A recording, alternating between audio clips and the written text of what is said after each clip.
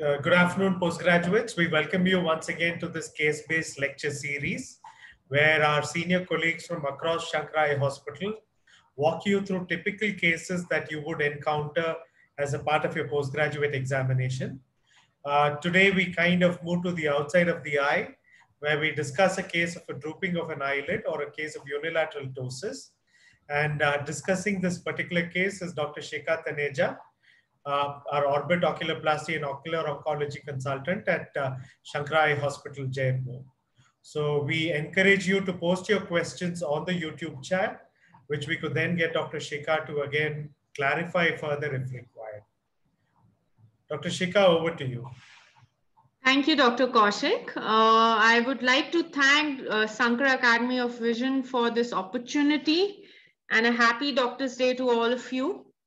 So today's case is a very common case which we will get in our OPD from day to day, which is an approach to a case of a unilateral ptosis. So usually a patient comes to us like this, or this is an example. A patient is coming to us with complaints of drooping of right eyelid since birth, and she's eight years old. Now, how will we progress? So this case has been given, how do we progress? So like any case taking, history taking is the most important part. And you would start with chief complaints, which is being drooping of right eyelid since birth. And then we will proceed to history of presenting illness. So what all are important components? Every single word over here is for a reason. It would be because either they would point us towards certain etiology or it will change our management altogether or it will require further investigations. So for example, first of all, you were supposed to ask the duration. It can be in days, weeks, months since birth. Obviously, if it's since birth, that means it is uh, congenital ptosis. If it has occurred like very acute in presentation, then we need to thoroughly investigate the patient. It can be a neurological, myogenic, it can be even traumatic.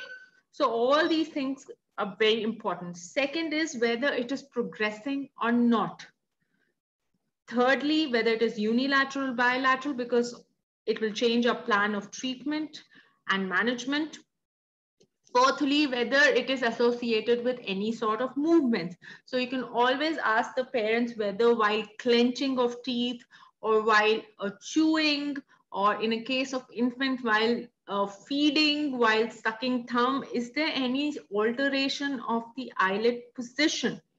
Then variability, whether there's any sort of diurnal variation, which obviously points out towards myasthenia gravis.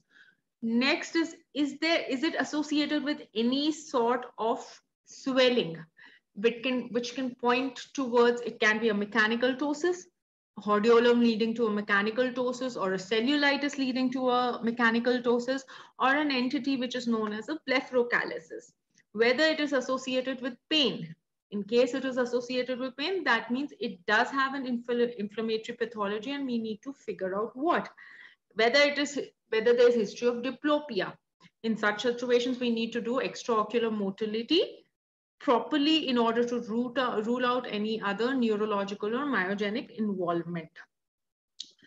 Once we are done with the HOPI past history, past history, especially of any ptosis surgery, because of in a case of congenital ptosis, we tend to have, patient might have undergone surgeries. You have to look for scars on the forehead or on the eyelid crease these point out towards previous surgery and obviously that will change our plan of treatment.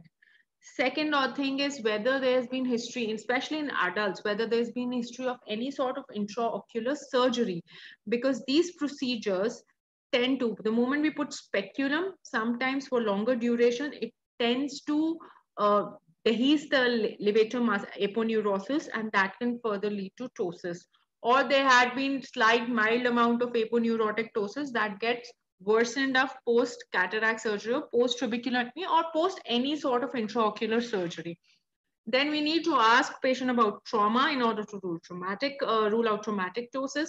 We need to talk about pain, swelling, as I had told.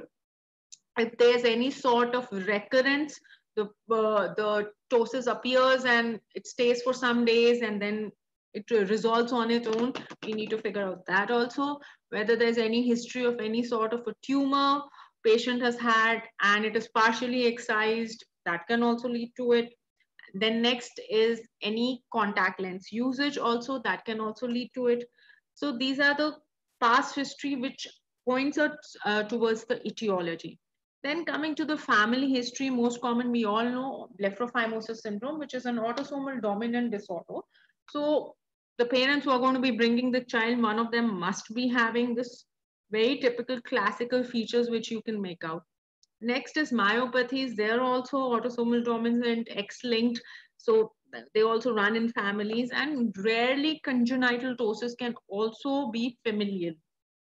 Systemic history rule out any history of dysphagia, any history of dystonia, any history of dyspnea, any history of uh, difficulty in getting up from chair, uh, any sort of developmental delay which the child has, any sort of neurological complaints like hemiparesis, hemiplegia, any facial uh, nerve palsy history, these all points out because in the case of a facial nerve palsy patient, they might have some amount of residual lagophthalmos and that again will lead to change of plan during surgery. At least we need to consider the fact that there is a pre-existing lagophthalmos and we need to counsel the patient accordingly. So these are the certain points which you always have to mention in your history at least basic thing like a history of previous trauma or a surgery can be mentioned as a negative history. Familial history obviously and a neurological neurological complaint if present has to be very clearly mentioned and then investigated further accordingly. So when we talk about a patient it's, it's a very common saying we all use that the examination begins once the patient walks into a clinic. So the moment patient walks into a clinic, obviously from the walk, we can make out that the patient has hemiparesis, any sort of uh, neurological component, uh, you know, ringing all your red signs that this is not a normal ptosis, it, is, it may be a neurological ptosis requiring a lot of investigations. Second thing, when we talk about face per se, the moment patient sits, just give a close look to the face. It's going to tell you a lot of stories. Is there any sort of facial asymmetry? So look both sides. Is there any sort of facial asymmetry? Do you see signs of facial nerve palsy? Do you see signs of deviation of angle of mouth or loss of nasolabial fold and uh, you know brow lift on one side? These are signs which you need to see. Another important thing, you need to see whether patient has hemifacial spasms. Sometimes those hemifacial spasms are, uh, you know, taken as ptosis by the patient. Next thing you need to look for is brow position. For example, in this particular case, our case, if you look closely, you can actually see that the child is trying to lift the brow in order to lift the eyelid and then work accordingly so that her visual axis a little clear. This is a very important sign we need to take care of this particular flag while doing examination. Otherwise, our readings are going to be erroneous. And so closely, like in take a mental picture, or draw a horizontal line across the brow, and you can actually make out. Sometimes there's a very severe ptosis. The patient might even have arching of the uh, brow. Not in this case, but it can happen. Next is head posture all the kids, uh, most of the, not just, not even just kids, uh, most of the patients who have bilateral ptosis, they tend to have chin lift so that they can develop, they tend to clear up the pupillary axis that way through chin lift and have proper vision. So chin lift is another sign of a very severe ptosis. Next being globe position. Now, why am I talking about globe position is because now, for example, look at this case. It's a case, a clear-cut case of a phthisis bulbi, but patient has ptosis. But this ptosis is due to enophthalmos mostly. So, you know, take a look, do worm's view, and just take a look whether the patient has normal position of the globe or not. And see, because microphthalmos, anophthalmic socket, they tend to have ptosis because of loss of support to the aponeurotic system. So this is an entity which is known as pseudoptosis. We need to take care of that. Next thing which we need to see is to rule out blepharophimosis syndrome. Uh, we need to check for telecanthus, look for intercanthal distance in millimeters. So a case of a blepharophimosis syndrome will have classical features. There will be severe bilateral ptosis, there would be brow lift, there would be chin lift, child is going to have epicanthus inversus, telecanthus, uh, even slight lateral entropy in certain entities. So that's an altogether a different case when we talk about it. Next, coming to extraocular, uh, coming, sorry, uh, another important point when we are doing this external examination is to take care of the periocular skin. Take a quick look, how is the skin? Sometimes it can be inflamed. The lid margins can be inflamed. Lids can be inflamed. So we are looking at something which is inflammatory. Look for signs of inflammation. Sometimes like in this case, you can see a very classical hooding of the upper eyelid skin. So this is something which is known as dermatochalasis. And there's a brow droop. You look at the brow, it is not, it's below the orbital rim. So these are the cases in which we need to go one step ahead. We would have to take care of the brow position also. We would have to take care of the dermatochalasis also simultaneously when we are operating.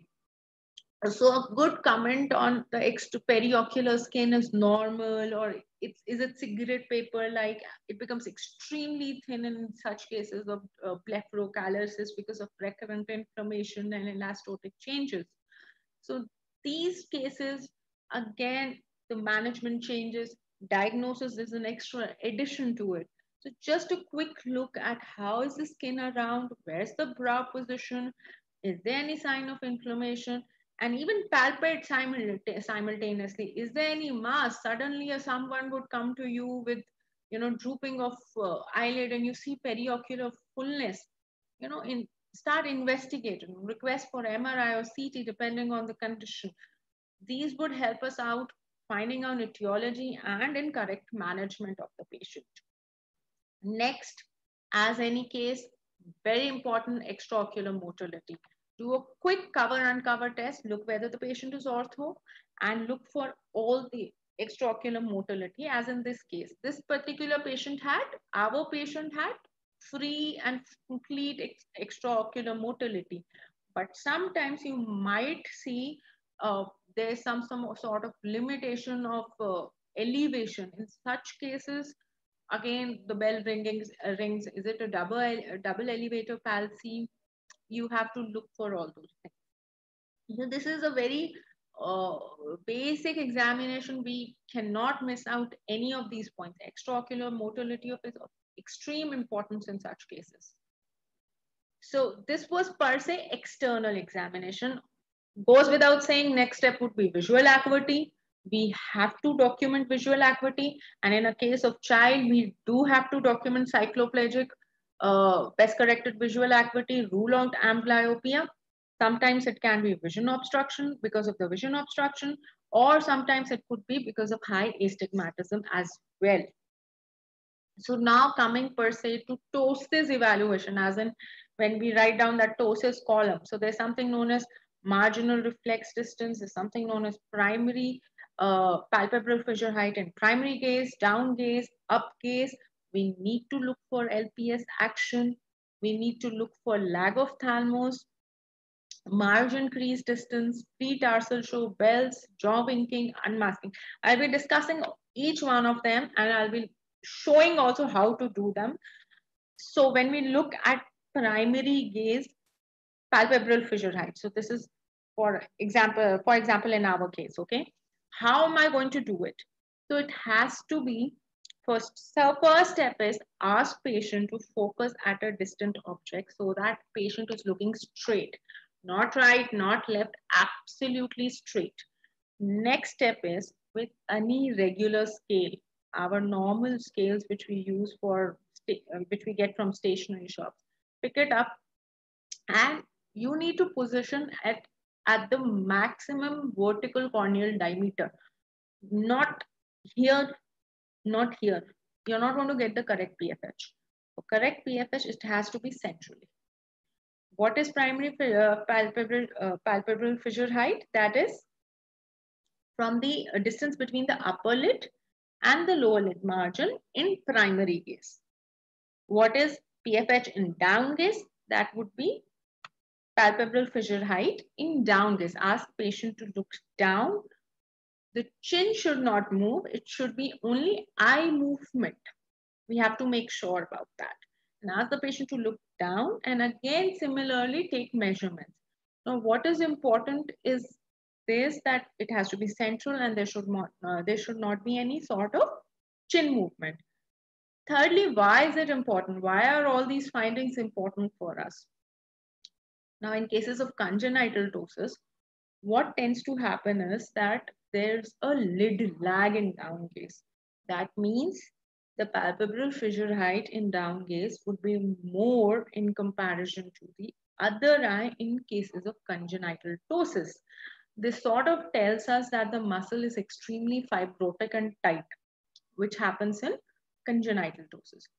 Whereas in cases of adult acquired aponeurotic ptosis, the, there are, tends to be lid droop in down gaze instead of lid lag, it becomes lid droop, somewhere around one or two mm of uh, PFH and down we usually get in such cases. So it sort of helps us in pointing out towards the etiology. Next is PFH in up. That means ask the patient to look up and then take the same measurements. Now, what is MRD1 and MRD2? MRD1 is marginal reflex distance from that means we need to calculate, we need to find out the distance from the upper lid margin to the light reflex. Whereas MRD2 is the distance between the light reflex and the lower lid margin. Now, how are they important? Obviously, MRD1 tells us about the ptosis, whether patient has ptosis or not, and how much is the ptosis. And MRD2 tells us whether there's some sort of lid retraction or any sort of anomaly with the lower lid position. There's a small video uh, just to demonstrate how I'm doing. This is not our patient case. It's just a representative video just to show how it is done. So you ask the patient to look straight, flash a pen torch light and just place it. All these things can be done within a minute uh, in our clinics and during your exams under tension, don't worry. Just put the scale, fatafat measure MRD1, MRD2, PFH. Then ask the patient to look down, do the same. Then ask the patient to look up and do the same measurements. Next step would be to take LPS action. Now, what is LPS action? So So as seen in this video, what I have done is first block the action of frontalis muscle. We place our thumb and kind of press it, press it not too hard because we don't want to push the brow down and again the there are ptosis because of that. Just press it and ask the patient to look down in extreme gaze and up in extreme gaze. So that excursion gives us the LPS action. Now this LPS action is, why is it important? Because all our management strategies with surgery to be done just depends on this LPS. Not just, one of the major component is LPS action. Next step, what do you do? We are we are in the clinic we are under exam pressure what to do? So this is how i have like put it up for you guys so that this order is there. Within a minute you can calculate all these things and you're almost done with your ptosis examination very conveniently. So next step would be one second one second. Yeah just ask the patient to close their eyes. So this will rule out your lagophthalmos Simultaneously check for Bell's. Try, when the patient is keeping the eyes closed, try lifting up the eyelid and look for corneal exposure. This particular patient person does seems to have extremely good uh, Bell's. We don't see any sort of corneal exposure. Same was the case with our patient also. The Bell's was very good. Now, Bell's can be graded as good, fair, poor. So when more than two-thirds of the cornea is covered under the eyelid, in such situation, we grade it as good. When Bell's is, when the cornea exposure is, you know, more, uh, somewhere around two-thirds to one-third of the cornea is exposed, it is fair Bell's. And when it is less than one-third, that means most of the cornea is exposed, in that situation, it is poor Bell's. This has to be documented whether Bell's is good, fair, or poor, again, because it will change your management protocol completely. Next, what are we supposed to see simultaneously? We're supposed to see pre-tarsal show and the margin crease distance. They are just fancy words, nothing extraordinary.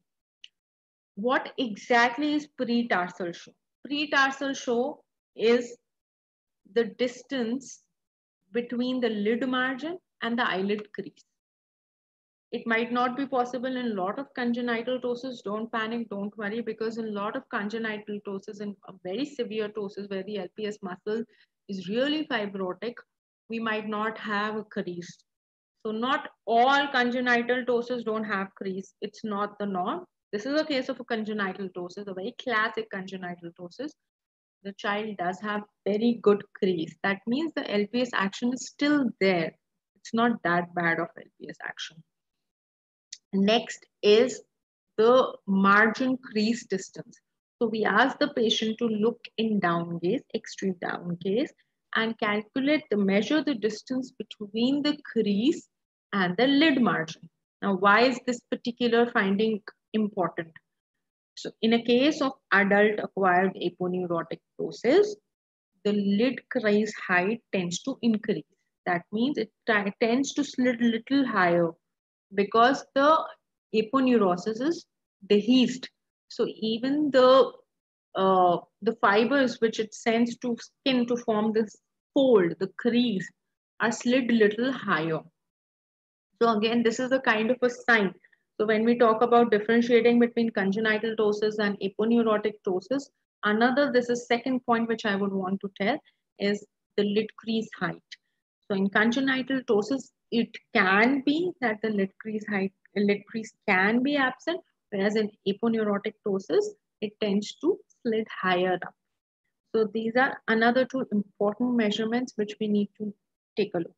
Another one very important point I want to talk about pre-tarsal show is that is a, it is a very good surrogate marker, very good indicator for mild ptosis. So when uh, sometimes patient would be walking to our clinics and they might say, you know, uh, there's a slight difference in our eyes and in our measurements, it might not come. The reason being sometimes patient gets very uh, alert, they get very conscious about the fact that you are checking. So they tend to kind of open their eyes a little more. That can happen. But a pre-tarsal show, if you see there's a slight difference in the pre-tarsal show in both eyes, that's a very good indicator of ptosis. Uh, that is actually ptosis. So it really helps, and especially in mild ptosis, when patient walks into our clinics, we should look for pre-tarsal show. It really helps, gives us a lot of information. Next point is unmasking of Hering's. This is another representative picture. This is not our case. So what exactly is unmasking of Hering's? So when we talk about Hering's law, so there, there is equal innervation to the synergistic muscles. That is what is receive equal and simultaneous uh, innervation to the synergistic extraocular muscles. So that means when our right eyelid, the ptotic eyelid is getting extra stimulation so that it can be lifted up. This eye is also getting that extra stimulation so that, uh, you know, simultaneously because of the Hering's law.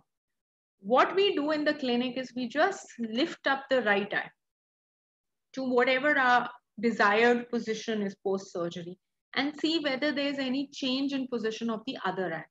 So this is how we do it very classical. You can actually see unmasking of Hering's. The moment we lift it up, the other eye drooped.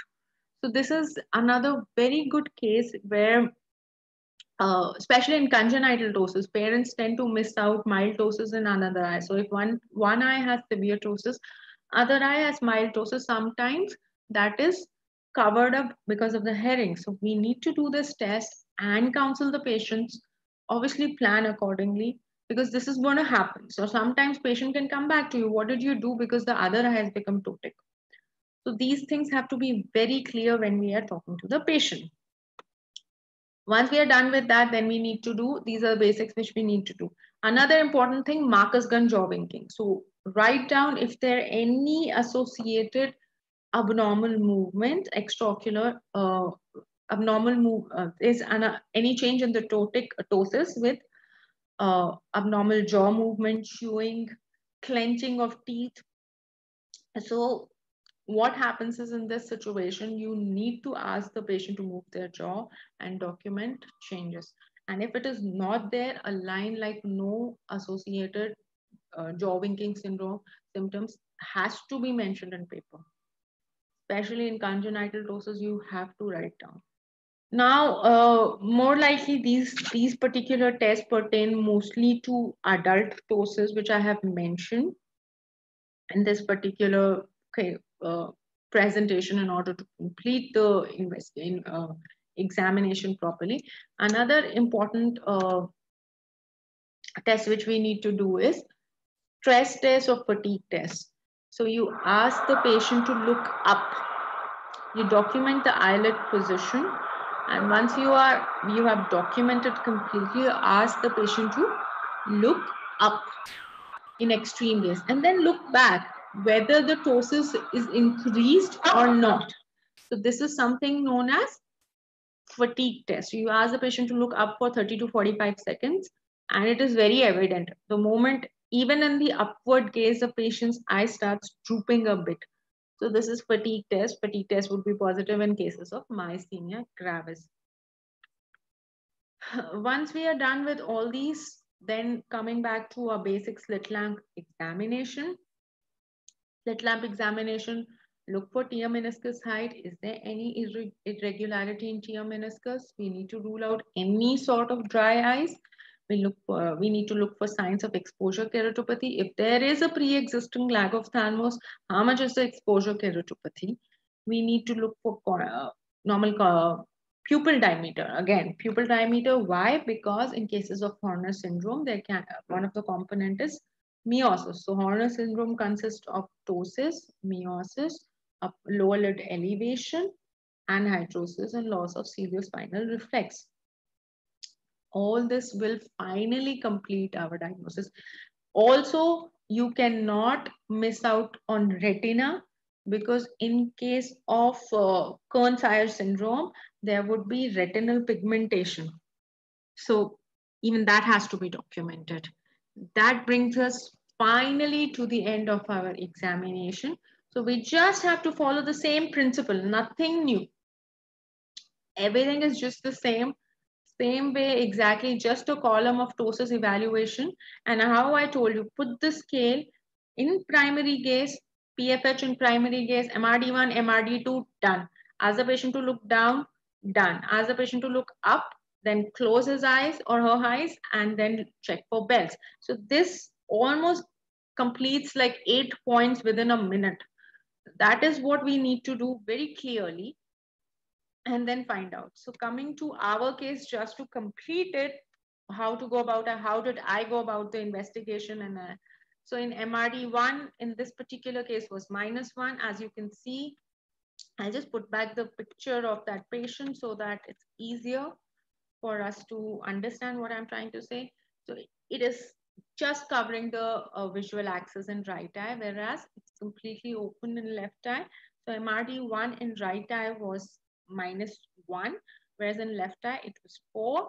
Palpebral fissure height in primary gaze was 4, in left eye it was 9. So normal palpebral fissure height is usually 9 to 10 mm and a normal MRD is usually 4 to 5 mm palpebral fissure height in down gaze was 5 in right eye, very slight. In this particular case, we didn't get very bad uh, lid lag in down gaze. And left eye was 4, palpebral fissure height in up gaze was 5, whereas in left eye it was 10. Again, because this patient had poor, just had spare LPS action because LPS action was 5 in right eye and 15 in left eye. Bell's was good. There was no associated Marcus Gunn jaw winking. Another extremely important point, which I just remembered and I forgot to tell you is corneal sensation. Corneal sensation has to be checked in all the cases. So after you're done with unmasking of Hering's, corneal sensation has to be checked. With a normal protocol, how we check, corneal sensation one quadrant has to be checked in both eyes because again, if the child has pre-existing lack of thalmos or any sort of dry eye or any uh, you know hypoesthesia of cornea these are the patients once we do surgery post ptosis surgery most of the patients end up with slight lagophthalmos there would be there are very high chances of exposure keratopathy and we need to plan in such a manner either do under correction or you know probably give uh, crutch glasses so that the patient doesn't suffer eventually and uh, yeah, so these are the basic tests. Apart from that, I don't know how much would it be possible during the exams is ice pack test. So what exactly is ice pack test? Again, it's done for myasthenia gravis. Uh, you place ice packs on the eyes for two minutes. If you want to look for correction in uh, ptosis. And in case you want to check for ophthalmoplegia improving or not, you have to place it for five minutes. So in that, and look for improvement in ptosis. If there's any sort of improvement by, if improvement of more than 2 mm is documented, then it, this test is supposed to be positive. That means there are very high chances of patient having uh, myasthenia gravis. Another test which we can do and uh, is asked also is a common drug which we can use also is phenylephrine test. So 2.5% of phenylephrine, a drop of it is instilled in the cul-de-sac. Take your initial measurements and a drop is instilled in the cul-de-sac and after two minutes, take your measurements again, okay? Uh, so how does it help? Basically, it gives sympathetic uh, uh, stimulation to the Mueller's muscle. And if, if the ptosis improves in these patients, we can take them up for Muellerectomy. Usually this test is done for mild ptosis because mild ptosis tend to uh, improve with Muellerectomy. Muellerectomy mostly gives, a, gives us a correction of 2 mm to 3, 1 to 2 mm usually. So this is another test which you can do. And this, this is usually asked in vivas that uh, which drug can you use somehow in ptosis. Uh, so this is one of the drugs which from our day-to-day -day clinic, which we can use in our uh, ptosis evaluations. Now, what are the common mistakes which, which you know, students in their anxiety, hurry, there are a lot of things going on during the exams. So do not miss on your abnormal jaw movements. That really is important. Always sit at the same level as the patient. You cannot, uh, if you know, if you're going to, you have to look straight towards the marking because otherwise parallax effect will come and the marking, uh, your readings can come wrong. Uh, measurements have to be made at the level of maximum vertical corneal diameter and absolutely do not hesitate to repeat your measurements. I still do it in my clinic, sometimes three times. It doesn't make a difference because the patient gets little anxious. You're bringing a scale close to his or her eye and you know you're asking them to focus you know they tend to widen up their eyes a little bit. They tend to stare.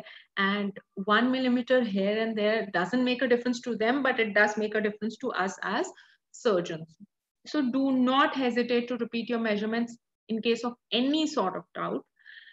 Extraocular motility, unmasking of Hering's goes without saying. Extraocular motility will give us a lot of information, will change our plan again, and uh, will tell us about a lot of things. Patient, it can be even a myogenic, neurogenic, any case, just one simple motility. So as I told you, It's a very simple uh, flow chart how I've told you. First go, look, extraocular motility, put the scale, primary gaze, down gaze, up gaze, close the eye, check for Bell's. After that, do your stress test, look for abnormal jaw movement, and if required, ice pack and uh, the phenylephrine test. So these and corneal sensations, again, very important. Corneal sensation cannot be missed out. So these are the basics as to how to go about with our examination. And yeah, that's all from my side. Any questions? I would love to answer that.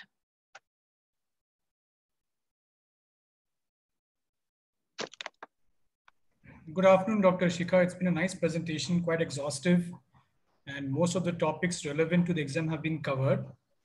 Uh, I have a couple of questions being asked today. Uh, one is from Dr. Basant. He's asking if a patient uh, is having a third nerve palsy due to hypertension with ptosis, what is the treatment?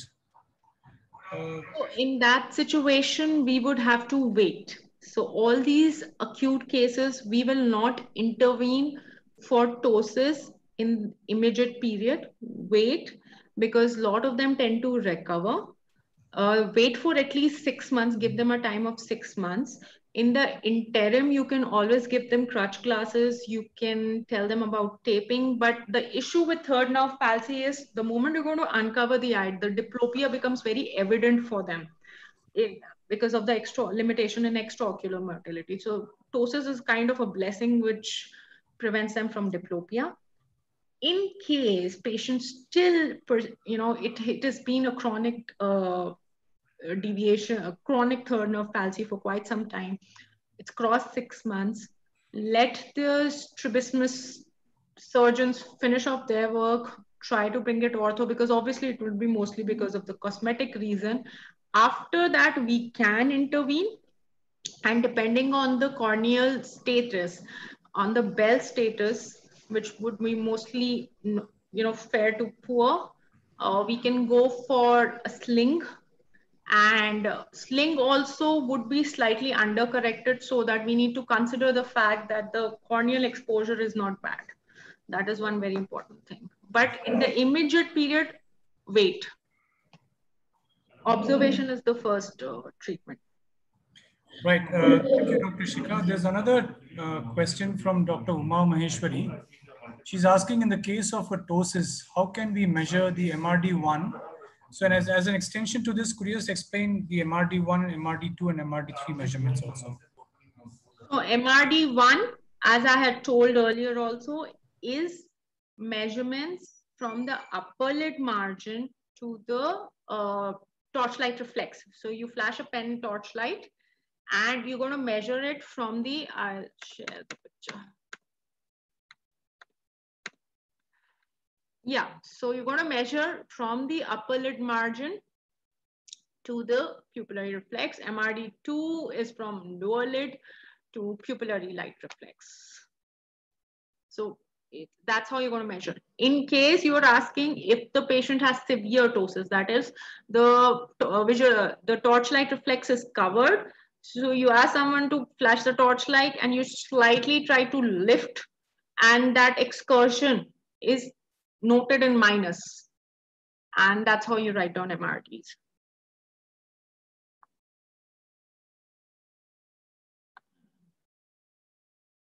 Dr. Saptagirish? Yes, uh, yes, Dr. Shika. Uh, there's another way of also checking the MRD1. Uh, one small trick is instead of shining the torchlight straight into the patient's face, you can ask the patient to look at a you know, window or something. So you have natural sunlight coming. Yeah, that's a wonderful way. What reflects, because what happens sometimes, some patients tend to squeeze their eyes and light yeah. falls. So you can alternately do that way.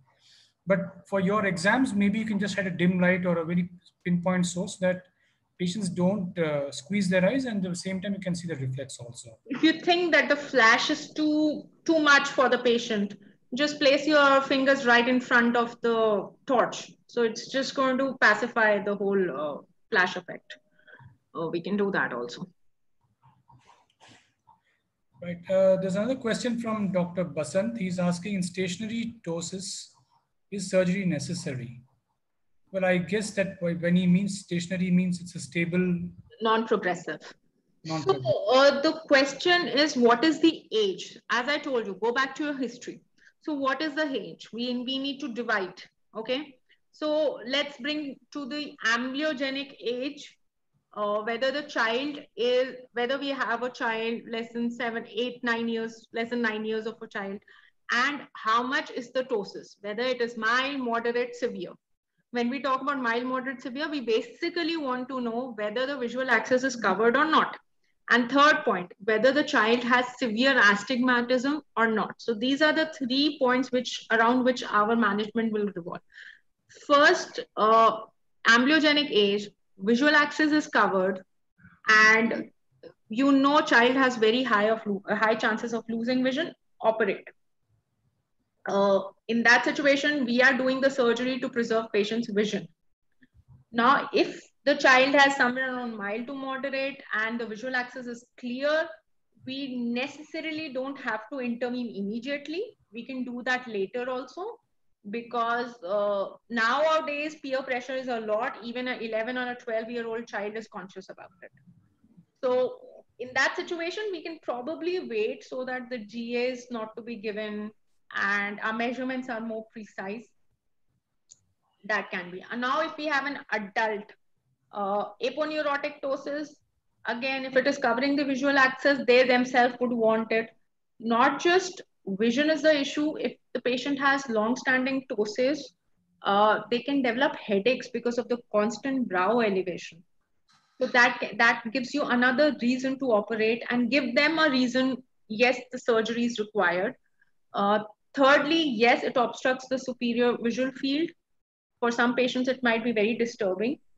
So these are the conditions when it is uh, required uh, not for non-cosmetic reason. And fourthly, it's always for the cosmesis. The day patient says that I don't like it, you have, as as a clinician, as an oculoplastic, you have to operate on these cases.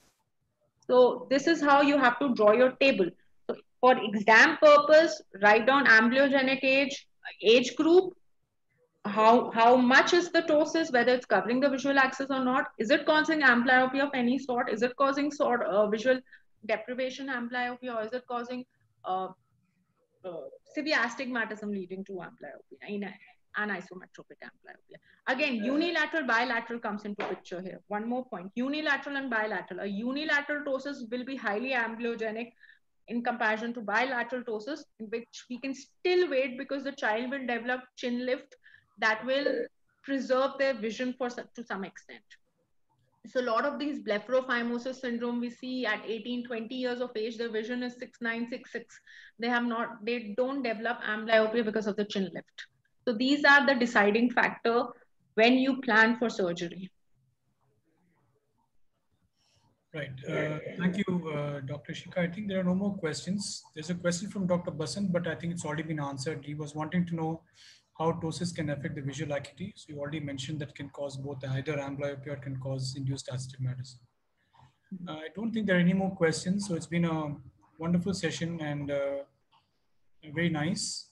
And I'm sure that the students will definitely benefit out of this and use uh, whatever has been taught to them to their advantage in the exams. Uh, thank you very much, Dr. Shika. Thank you, Dr. Saptagirish. And uh, for tomorrow's session, we'll have a case situation where it's a patient who presents with an angle closure glaucoma. Uh, the case will be discussed by Dr. Kamala, who is our uh, uh, glaucoma consultant at uh, Shimoga. The time remains the same. It's at 12 p.m. And uh, hope you all stay safe and take care. And we'll see you tomorrow. Goodbye. Hello.